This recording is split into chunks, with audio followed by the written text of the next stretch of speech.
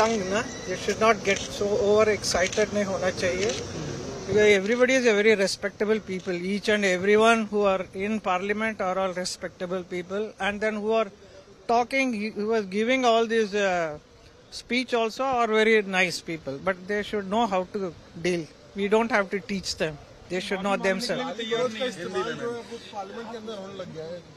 parliament के अंदर ऐसा नहीं होना चाहिए जो सभी रेस्पेक्टेबल लोग यहाँ पे आते हैं और भाषण भी देते हैं लेकिन अपने आप को जरा कंट्रोल में रखना चाहिए। इतना इतना इमोशनल होने की कोई ज़रूरत नहीं है सबको है ना? बहुत ज़्यादा भड़क जाते हैं। वो देख देख सकते हैं। है कि उनको कोई अफसोस नहीं है उन्होंने एप्पल को एप्पल ही कहा है। अभी उनका by nature she must be like that so I don't know I have got nothing to do